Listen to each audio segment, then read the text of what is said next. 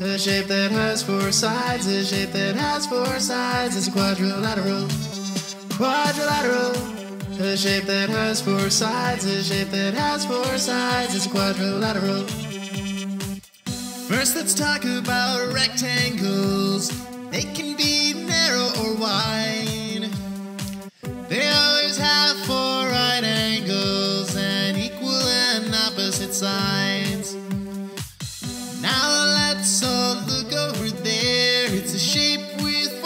sides.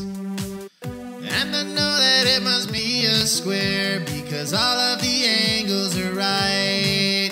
Quadrilateral.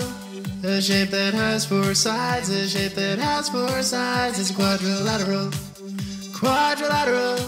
A shape that has four sides, a shape that has four sides is quadrilateral. Don't call it a diamond. All its sides are the same. You're gonna like this quadrilateral. Its opposite sides are parallel, and it has four equal sides. It's called a rhombus. Next up is the parallelogram. So listen up, people. There are two sets of parallel sides, and opposite sides are equal. Quadrilateral.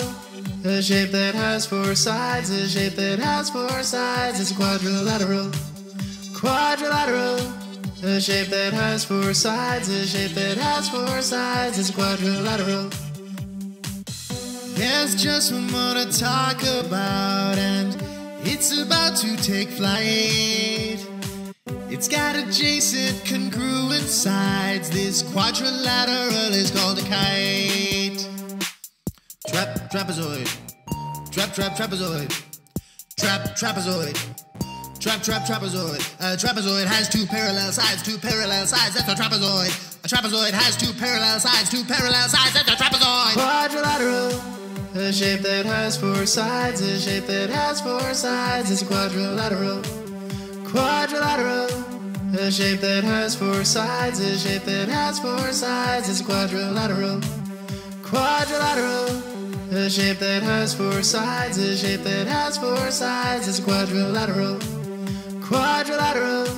A shape that has four sides, a shape that has four sides is a quadrilateral.